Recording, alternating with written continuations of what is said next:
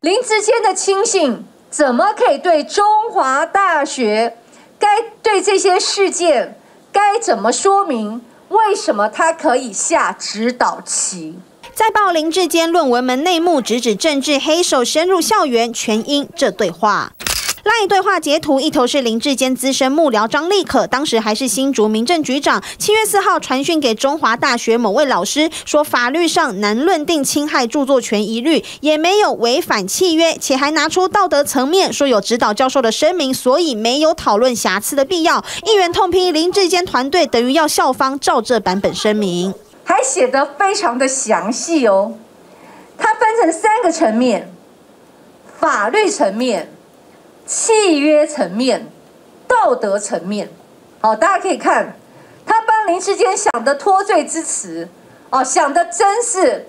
非常的详细呀。对此，中华大学回应争议事件之后，行政单位没有接获任何新竹市府官员的来讯，对于议员所称的赖对话也完全不知情。我们也都会陆续的收集相关的资料哦。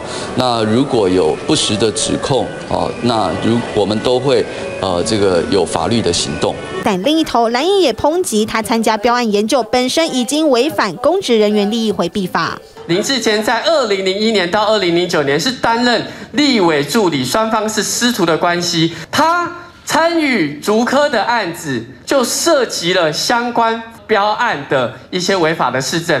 所以我特别强调就是诚信。